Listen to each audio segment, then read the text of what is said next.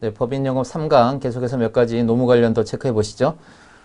아까 우리 문제를 좀 풀어보셨습니다.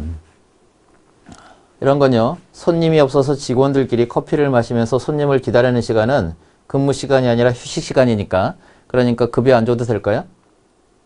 예, 그렇지 않죠. 그렇습니다.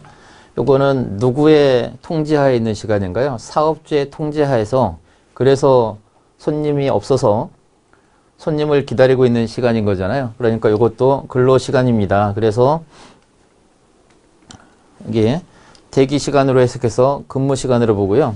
그래서 업무 대기 상태이고 2012년도에 아예 근로기준법에 작업을 위해서 근로자가 사용자의 지휘 감독 아래에 있는 시간, 대기 시간 등은 근로 시간으로 본다고 아예 법조문에 들어가 있죠.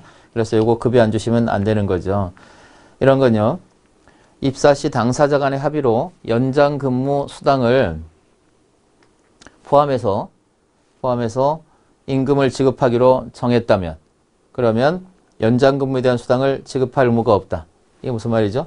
예를 들어서 우리가 보통 9시부터 시작해서 저녁 6시까지가 일반적으로 일하는 8시간이라고 하고 이 회사는 저녁에 8시까지 일할 때도 있고 10시까지 일할 때도 있고 그래서 연장 근무가 좀 많이 있습니다. 그래서 이걸 일일이 다 시간상 계산해서 매일매일 계산해서 급여를 주기가 복잡하니 그냥 우리는 9시까지 그냥 일하는 걸로 보고 여기까지 포괄적으로 급여를 줄게 라고 계약을 하고 예, 일을 시킨 거죠. 그런데 사실은 9시에 끝나는 날은 별로 없고 매일매일 11시에 끝난다고 하면 그러면 9시까지밖에 급여를 안 주면 2시간을 급여를 안 준 거잖아요.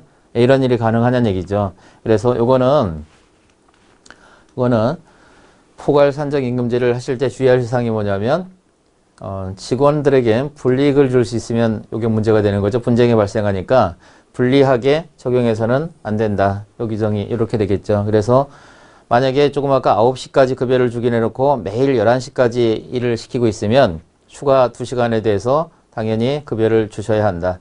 그리고 이런 포괄 산정 임금제는 직원들 동의를 별도로 받아둬야 한다.